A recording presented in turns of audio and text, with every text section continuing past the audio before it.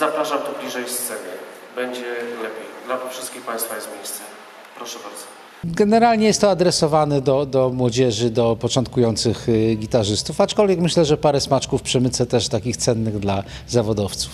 Musista nabija nam tempo. Raz, dwa, trzy.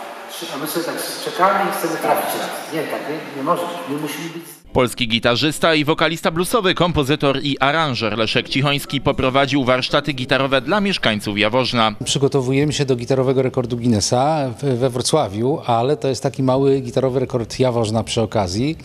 E, nauczymy się czterech piosenek, Hey Joe, Little Wing, Thanks Jimmy, to moja kompozycja i Voodoo Child. Wszystkie e, utwory są dedykowane Jimiemu Hendrixowi. E, tak jak festiwal we Wrocławiu, Thanks Jimmy.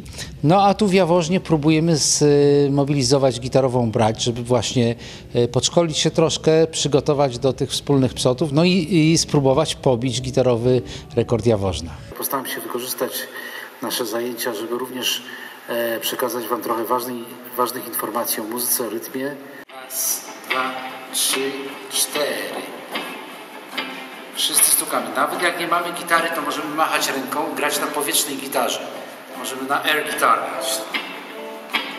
Raz, dwa, trzy i stukamy sobie tempo. No, możemy się huśtać na boki też. Warsztaty były skierowane zarówno do początkujących, jak i nieco bardziej zaawansowanych gitarzystów. Po warsztatach odbył się koncert Leszka Cichońskiego oraz wspólne bicie jaworznickiego rekordu gitarowego. Relacja już jutro na jaw.pl. Raz, dwa, trzy, cztery.